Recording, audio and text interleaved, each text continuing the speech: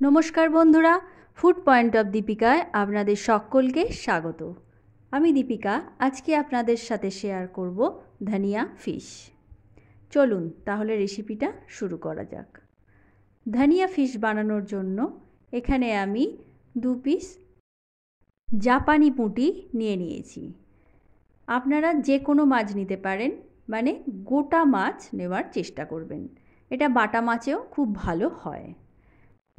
এখানে আমি দিয়ে দিচ্ছি হাফ টেবিল চামচ হলুদ আর খুব সামান্য লবণ, কারণ লবণ আমার আগে থেকে মাখানো ছিল। এইবার লবণ আর হলুদটাকে খুব ভালো করে মাছের গায়ে লাগিয়ে এটাকে দশ মিনিটের জন্য রেস্টে রেখে দেব। অপর দিকে মাছগুলো ভাজার জন্য এখানে আমি একটা কড়াই বসিয়ে দিয়েছি। কড়াইটা গরম হয়ে গেছে। এইবার দিয়ে দেব পরিমাণ মতো সর্ষের তেল। সর্ষের তেলটা ভালো করে গরম হয়ে গেলে আমি দিয়ে দেব ম্যারিনেট করা মাছ। মাছগুলো এদিকে ভাজা হোক, অপর দিকে একটা মশলা আমি রেডি করে নেব।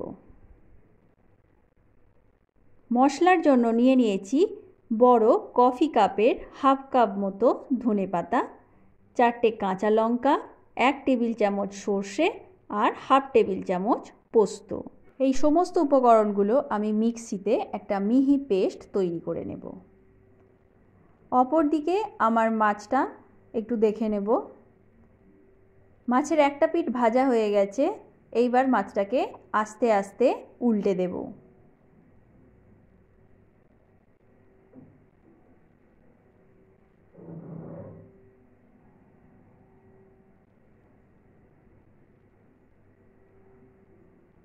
এইভাবে অপর পিঠটাও খুব ভালো করে লাল লাল করে ভেজে নেব।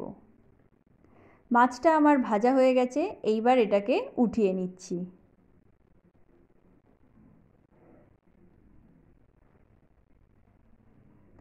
মাছের যে দিকটা কাটা থাকে পেটটা, ওই দিকটায় কড়ার দিকে নিচু করে মাছটাকে তুলে নিলে এক্সট্রা তেলটা পেট থেকে বেরিয়ে যায়। আচ্ছা এতটা তেল আমার লাগবে না। তেলটা একটু কমিয়ে নিয়ে এর মধ্যে দিয়ে দিচ্ছি চার ভাগের এক ভাগ কালো জিরে। ফোড়নটা কুড়ি থেকে তিরিশ সেকেন্ড মতো ভেজে এর মধ্যে দিয়ে দেব বেটে রাখা পেস্টটা। পেস্টটা দেওয়ার পর এর মধ্যে একটু জল আমি দিয়ে দিলাম। আরও কিছুটা জল আমি অ্যাড করে দিচ্ছি।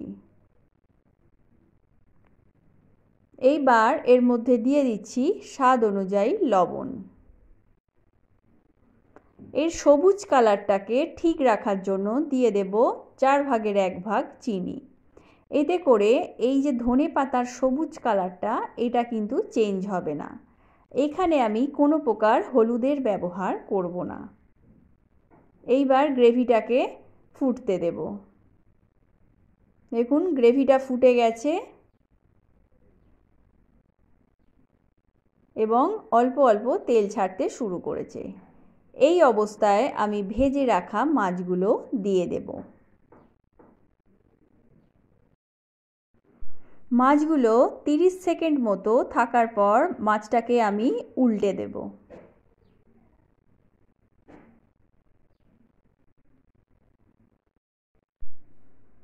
মাছটাকে উল্টানোর পর এইভাবে গ্যাসের ফ্লেমটাকে লো করে আমি দুই থেকে তিন মিনিট এটাকে কুক করে নেব।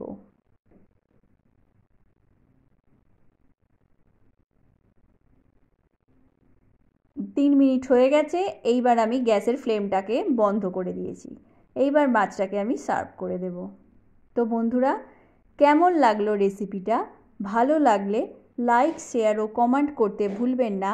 আর আমার চ্যানেলে নতুন হয়ে থাকলে চ্যানেলটা সাবস্ক্রাইব করার অনুরোধ রইল।